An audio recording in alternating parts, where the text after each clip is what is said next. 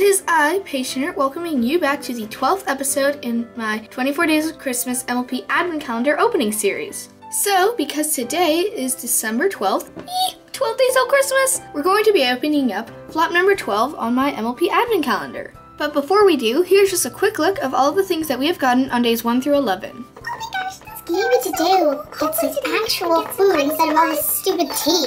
Wow, it's really chaotic over there. Anyways, I read all of your comments on yesterday's episode, and some of your guesses were really cool, so hopefully they will be correct. Anyways, let's find flap number 12. Oh, there we go. So here is flap number 12, and if you guys have any last minute guesses that you want to put down in the comments below, go do that right now, because we're going to open this flap up.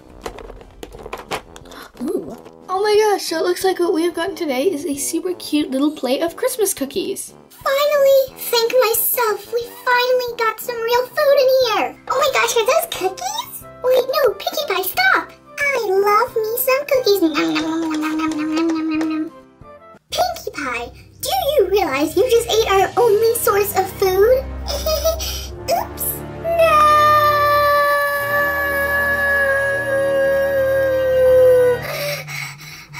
Okay, that place over there is getting way too dramatic. But these cookies are so cute, and a lot of you guys actually guessed food, so thumbs up to you. But if you didn't guess today's present, have no fear because tomorrow we'll be opening up door number 13. So over there in that little corner is door number 13. If you guys have any guesses on what is going to be in this tiny little flap, well then put them down in the comments below and tomorrow we'll see if you're correct. Well anyways, thank you so much for watching the 12th episode in my little mini series. I will see y'all tomorrow at the next episode and well, bye! How could you eat all the cookies?